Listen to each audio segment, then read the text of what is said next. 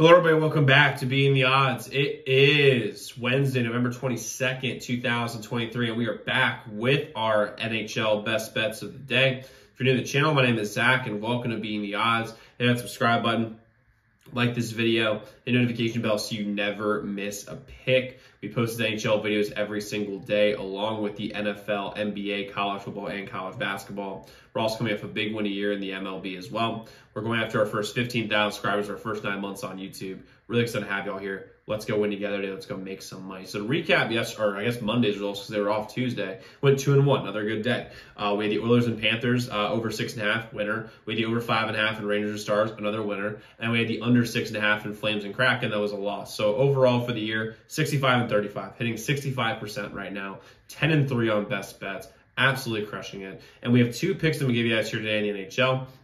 We do, by the way, have members only plays, and I mean a loaded members only card in the NBA and college basketball today. Use the ZDMBets.com slash picks, the website link in the comments below.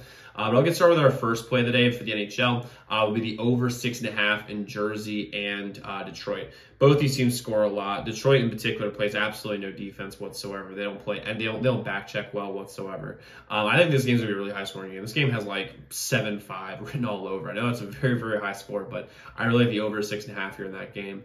And last, I like the under six and a half in DC and Buffalo. I'm um, in Washington Buffalo. Here's the deal, guys. When it comes to, I, I know my Caps very, very well. They're they're keeping Ovi around to win this to get the scoring title, which he will, and he deserves it. He's he's the best scorer and I believe league history. But you know, Wayne Gretzky's incredible, so obviously you know you can't really go wrong with either one if you pick them. But I, I'm an Ovi fan, very very stand for that. But this team doesn't score very much. And they, they play a very slow paced style of hockey, not like they used to. And Buffalo just isn't scoring as much as people might think they are. I love the under six and a half here for this game. I'm going to roll with it here.